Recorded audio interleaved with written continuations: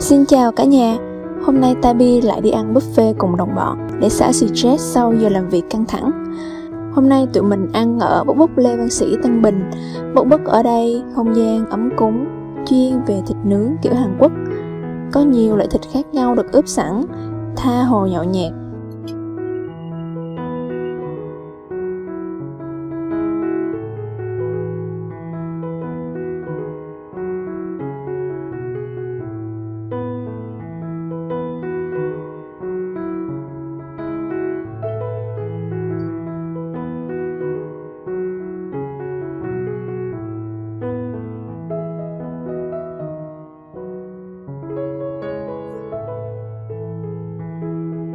có một số món ăn sẵn như đồ chiên, súp, kim chi, dưa hấu.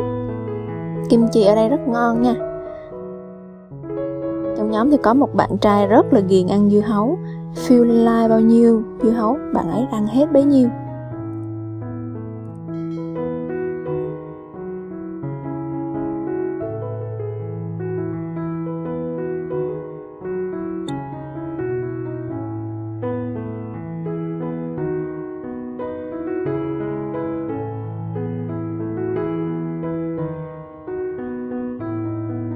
Hải sản thì sẽ phục vụ trực tiếp trên bàn cho các bạn luôn. Kêu bao nhiêu tùy thích, tùy theo giá buffet bạn mua. Tụi mình ăn vé 169 là no ngập mặt luôn.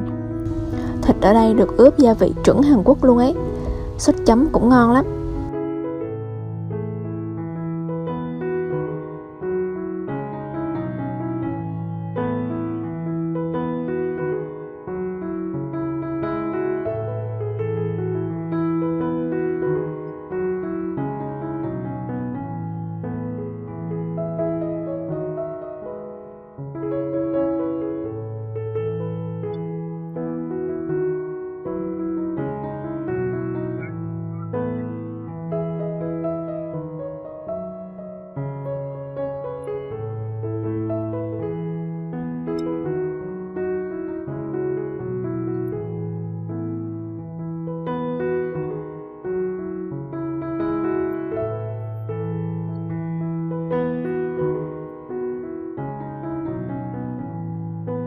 Nhất là ăn trứng hấp kim chi. Trứng mịn, kim chi cay cay, hấp trên vỉ nướng nóng hổi, ăn rất là thích luôn. Trời mưa này ăn đồ nướng, rồi ăn trứng hấp, trời ơi, phê, bao phê.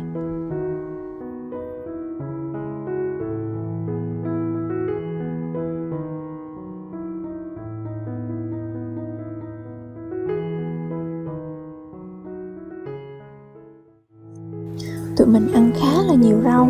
Và rau rất là tươi và sạch. Bàn mình 6 người mà mỗi người một dĩa rau chả bá lửa luôn. Bàn mình lấy hết rau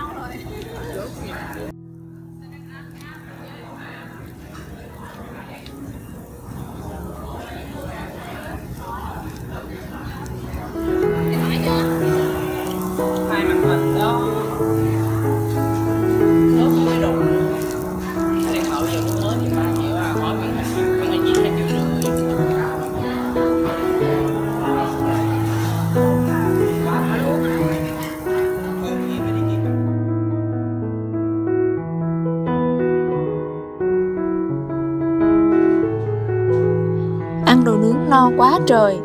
Nhưng tụi mình kêu thêm một nồi lẩu tôm dung để thưởng thức, vì nước lẩu tôm dung ở đây rất là ngon. Bạn đã thử chưa? Giá vé rẻ lại nhiều ưu đãi hấp dẫn, nhiều món ăn ngon. Nhanh nhanh cùng đồng bọn đến thưởng thức đi nè.